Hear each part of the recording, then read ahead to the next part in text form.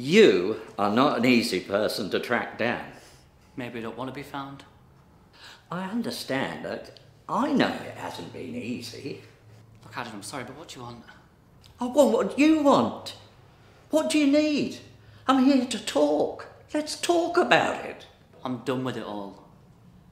Look, I know how passionate you are about going to Egypt.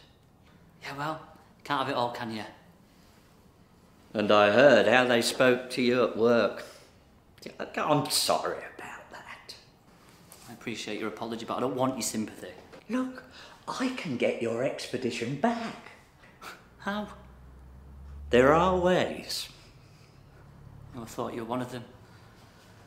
Guess I could be wrong. William, are you all right? Some of the things you told me weren't true. What things? You know what things? There's a lot about you which is a lie. The way you tie your tie's a lie. You're lying with the way you tie your fucking tie. This is exhausting me. Yeah? Will you do me a favour in return for the present? Depends what it is. Will you stop burning yourself? I don't think it's very good for you. I think you're better off stopping.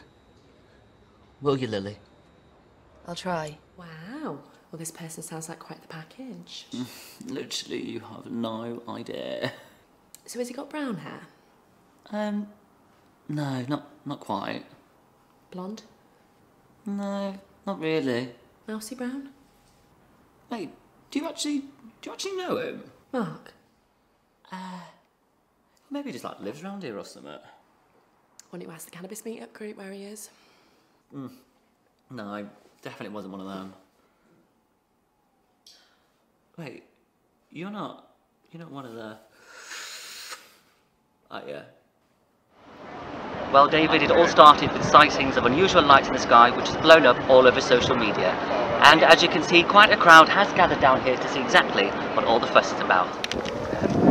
There's been an explosion in the building behind us, and people are running and screaming all around me. I'm not quite. Jesus.